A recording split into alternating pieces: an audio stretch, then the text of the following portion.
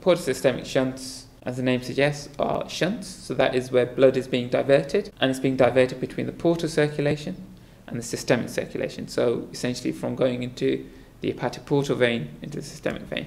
And this shows what they look like. So in a normal liver, this is the portal vein.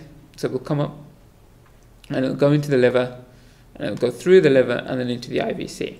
In an abnormal um, liver, where there is portal hypertension and there's a lot of pressure um, within the liver, the pressure will make it so that the blood finds another way, essentially, and it bypasses the liver. Just as when there's a lot of traffic, you look for a bypass, the same thing happens here. The liver is very congested, usually when it has cirrhosis, and the blood will find another way.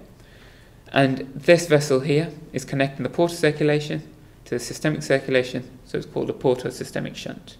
And there are five key vessels of this type to remember. So the first is varices, and these are where the left gastric vein, which will usually drain into the portal vein ultimately, links with the azygos vein. So the azygos vein goes straight into the SVC, and that wouldn't go through the portal venous system.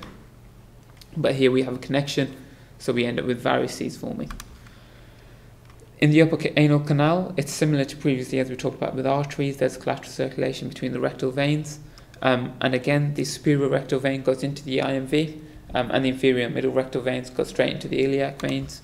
And this, um, when these veins are engorged, so when there's increased circulation, it results in hemorrhoids. Caput medusae are again engorged vessels um, that develop because the paraumbilical veins um, connect with the superficial epigastric.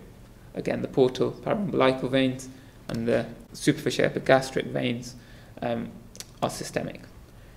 And so on, the retroperitoneal between colonic veins and retroperitoneal veins, and the intrahepatic is usually from the portal vein um, and the inferior vena cava directly. And this just illustrates some of those collaterals. So the first is here, so where the varices would be, and you can see here that that would normally be the gastric vein, um, and the azygos vein would be up here, and they've formed collaterals. Um, the next one is hemorrhoids, so superior rectal vein, middle, inferior, and they're connected by collaterals. When the blood is diverted to a greater extent um, or is in a higher pressure, in the portal circulation, that pressure comes back down onto the superior rectal veins. That increases the pressure in these, and then you, you end up getting hemorrhoids. And then again, the umbilical vein. Veins and arteries and all blood in the abdomen. And that's, I think, essentially all you need to know in clinical practice as far as the anatomy goes.